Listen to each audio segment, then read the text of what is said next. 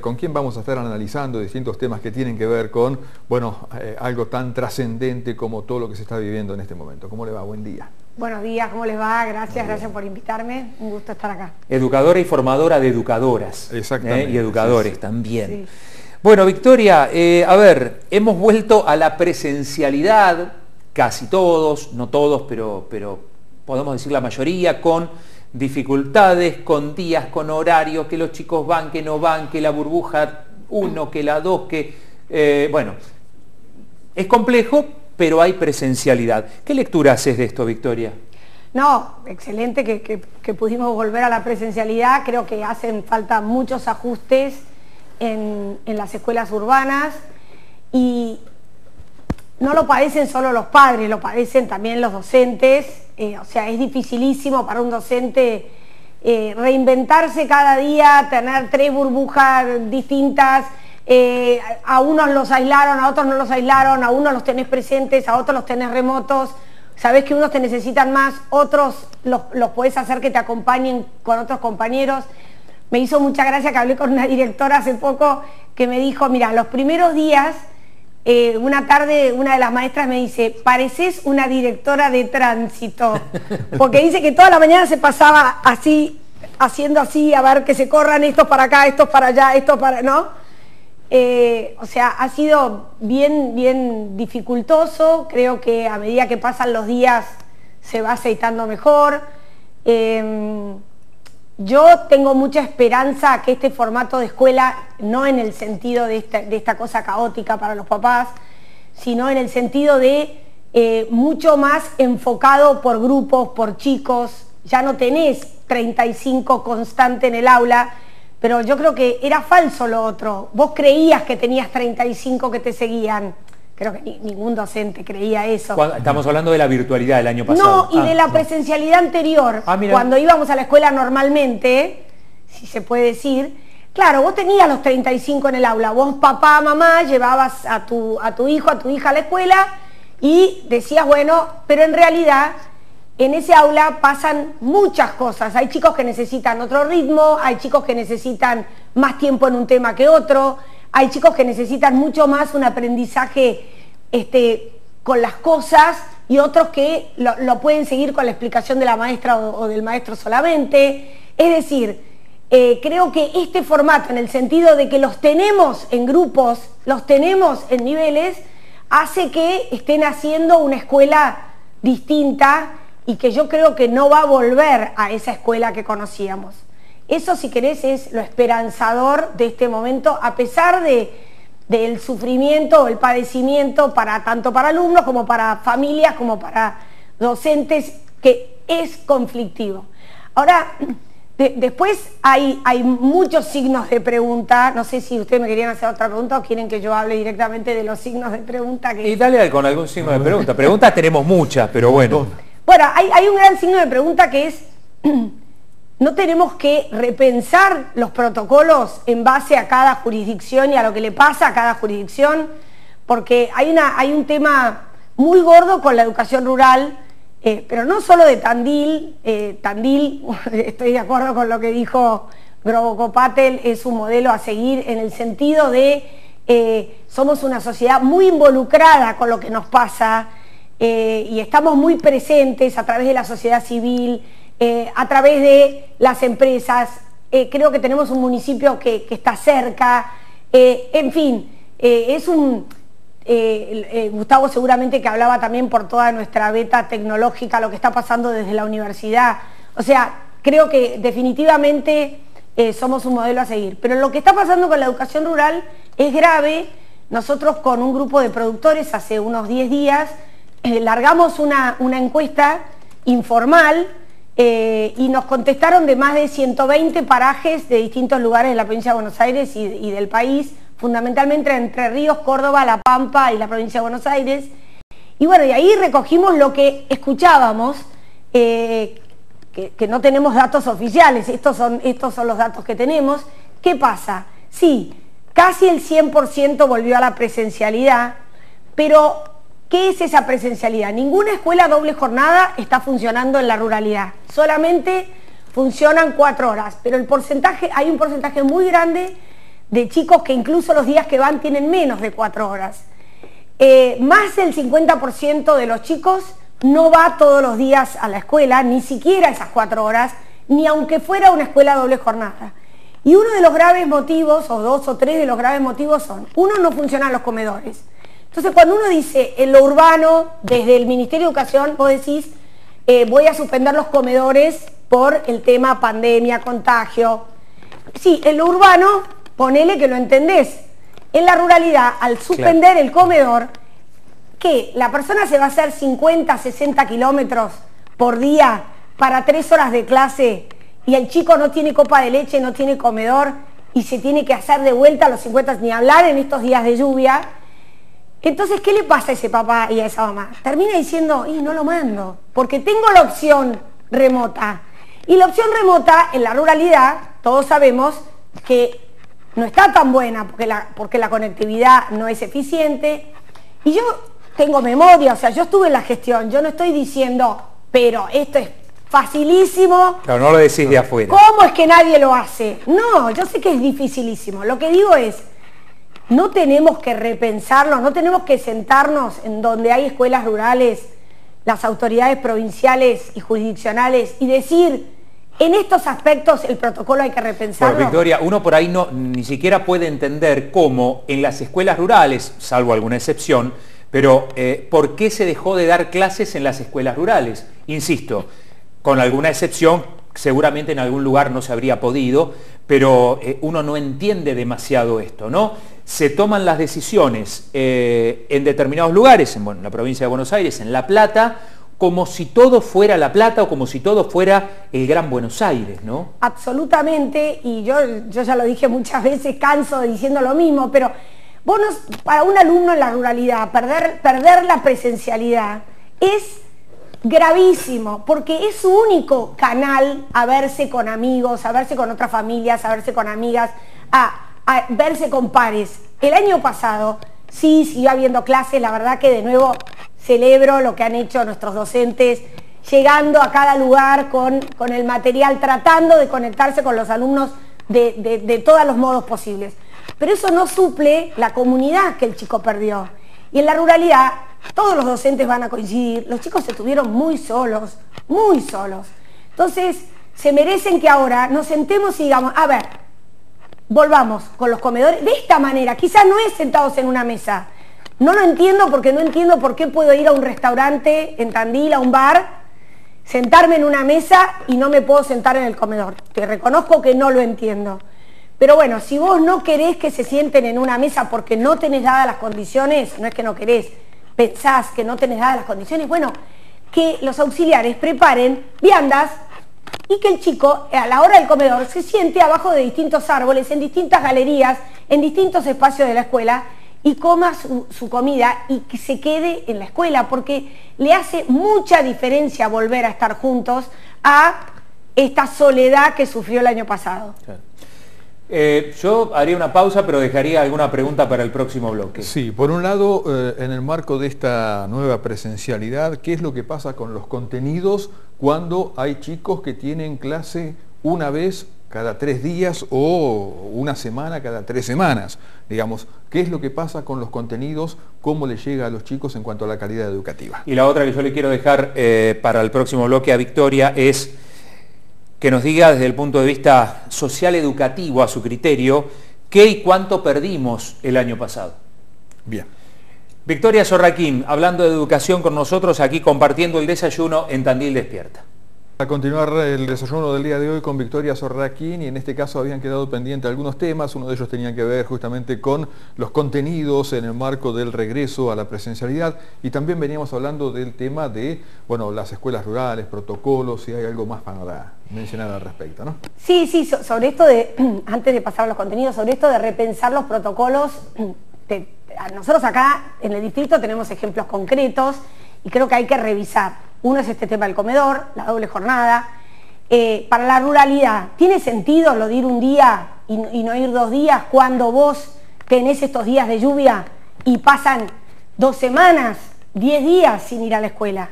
Entonces, creo que necesitamos el ajuste, no es lo mismo en la ruralidad, los metros, eh, que tenemos en lo urbano, en los espacios que tenemos en lo urbano con los espacios que tenemos en la ruralidad, requiere otra, un poquito de, de, osadía para, para, repensarlo, mucho sentido común. Yo he escuchado de docentes que me hablaron del trigo en las flores, eh, eran 10 en la escuela y eran 11 y en realidad había lugar para 10.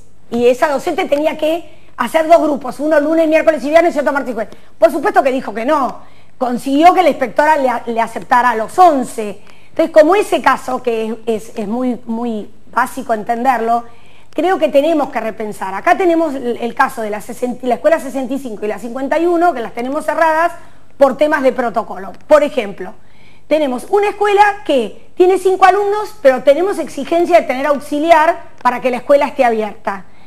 ¿No podemos repensar eso para la ruralidad? Creo que es un punto. Segundo, tenemos una norma, por supuesto que la, celebro, que es que si un docente está en riesgo, no puede ir a la escuela, está exento de ir a la escuela y puede continuar eh, remoto o en la virtualidad. Ninguna duda que eso es así. Ahora, en la ruralidad, que de nuevo, con toda la realidad que contamos, no, no haría falta poder reemplazar a ese docente rápidamente para que el que esté pueda ir. Sí, obviamente hay que revisar la norma y cambiar varios puntitos, pero creo que requiere de nuestro sentido común, de nuestra capacidad de gestión como, como gobierno provincial, municipal, sociedad civil, gremios, decir, a ver, miremos estos casos y repensémoslo. Y bueno, ahora sí los contenidos. Sí, convengamos en que, bueno, algunas escuelas rurales tampoco tienen todas las eh, comodidades o todos los espacios necesarios. Un ejemplo es la Escuela 60, que la propia comunidad está construyendo una aula nueva porque se encontró con la pandemia sin la infraestructura correspondiente. Absolutamente, y estamos en deuda con esa infraestructura y estoy totalmente de acuerdo y, es de larga data y cosas que hace falta que... Y creo que, ¿sabés qué? Eh, justamente la pandemia que está demostrando que la, gente no quiere vivir amontonada, no va a vivir amontonada, la gente se quiere ir a lugares con eso de salud. Bueno, no tenemos que pensar en estos parajes para que sean los mejores lugares, las mejores escuelas. Y además los datos nos habían mostrado que eran las mejores escuelas. O sea, tuvimos mejores resultados en escuelas rurales pequeñas que en escuelas urbanas grandes. ¿no? Así que definitivamente estoy de acuerdo. Contenidos. ¿Qué pasa con los contenidos al haber menos clases o menos horas de clases presenciales? Sí, creo que por supuesto que hay que readaptar los contenidos, repensarlos. Eh, ¿hay, ¿Hay data, hay alguna norma eh, o, adaptación curricular oficial? Creo que depende mucho más que de la adaptación curricular oficial de docentes, directivos, inspectores sentándose juntos, viendo a su comunidad y diciendo ¿Qué le conviene a estos chicos? ¿Por dónde voy a reforzar en un sexto año? Estos chicos van a estar el año que viene en la secundaria. ¿Qué tres o cuatro asignaturas, áreas de sexto no me pueden faltar este año? Y dedicarle eh, mucho tiempo a, esas temáticas. Porque después un chico que va a entrar a secundaria, por ejemplo, te pongo un ejemplo, y lo mismo, un chico que no tuvo jardín y este año está en primer año y se perdió esa sala de cinco en donde tenemos los hábitos, logramos los hábitos, logramos los ritmos de aprendizaje y resulta que ahora lo tengo en primer año y no lo tengo todos los días. ¿Cómo hago? Bueno, creo que le tengo que dedicar, sacar algunas cosas y dedicarle a esos hábitos. Creo que el tema de la promoción flexible, que se está viendo en, distintos lugares, va, a tener que suceder. Eh, obviamente los padres y la familia juegan un rol fundamental en acompañar a esos hijos, pero creo que también el sistema educativo no puede pensar que, que las familias van a reemplazar lo que los docentes no pueden hacer por, por esa falta de, ritmo y de presencialidad. Así que, sí. La voz que están escuchando es de Victoria Sorraquín, especialista en educación, eh, educadora y, formadora de, de, educadores. Victoria, la otra pregunta que había quedado era, el año pasado, eh, sin clases presenciales, ¿qué y cuánto perdimos? Es decir, nuestros hijos, ¿qué y cuánto perdieron desde lo social educativo? Obviamente no estamos hablando solamente de contenidos acá.